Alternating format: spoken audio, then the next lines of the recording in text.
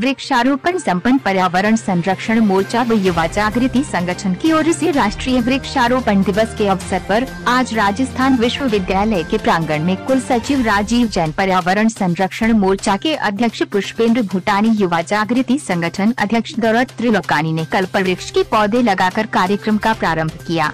इस अवसर पर विश्वविद्यालय के कुल सचिव ने अपने संबोधन में छात्रों को अधिक से अधिक वृक्षारोपण करने व उनकी सार संभाल करने का संदेश दिया। इस अवसर पर ताराचंद चावला, रिया लोगवानी, महिला विकास संस्थान की नविता पारी, बालाजी फाउंडेशन के सुरेंद्र शेखावत, करण अलवानी नूपुर गुप्ता आदि गणमान्य लोग उपस्थित थे। मोर्चा के पुष्पेंद्र भूटानी ने राष्ट्रीय वृक्षारोपण दिवस की महत्वता व जल जंगल ज़मीन के संरक्षण से ही मानव जीवन संभव है, पर अपने विचार रखे।